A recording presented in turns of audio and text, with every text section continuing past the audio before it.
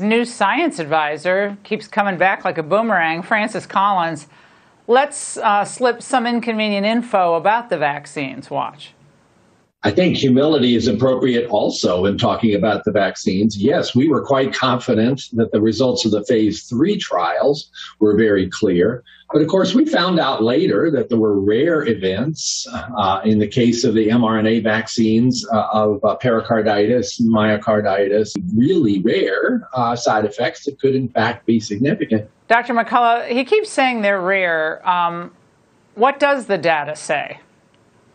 The correct term to use in uh, safety data research is called tip of the iceberg because we don't check everybody for the problem. This comes through spontaneous reporting. So back when the CDC and FDA looked at 200 cases of myocarditis, they said it was both rare and mild. I said just the opposite. It was tip of the iceberg and severe, since 90% of the kids were being hospitalized with this. Fast forward to today, in our U.S. CDC VAERS system, we have over 30,000 cases of myopericarditis.